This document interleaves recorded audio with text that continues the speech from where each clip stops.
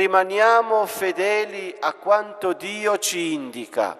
Guardate che essere fedeli è difficile, però se noi siamo fedeli a Dio, il Signore guarda alla nostra fedeltà. San Pio è stato un fedele a Dio sempre, anche nei momenti più oscuri, più bui della sua vita, sempre fedele a Dio. Ma oltre la coerenza serve anche la perseveranza. Dobbiamo perseverare.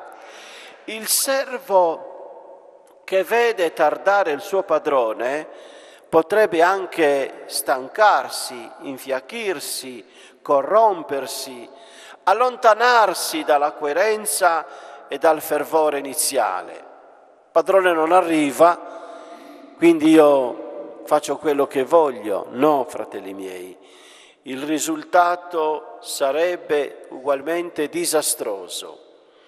Al Signore non servono, ricordiamolo, i fuochi di paglia, ma persone disposte ad attenderlo e a seguirlo fino in fondo, con coerenza e perseveranza con fiducia e con fortezza. Preghiamo allora rivolgendoci alla Madonna, chiedendo questa grazia, coerenza e perseveranza. Allora saremo dei buoni cristiani. Padre Pio esortava tante volte dicendo, fate i buoni cristiani.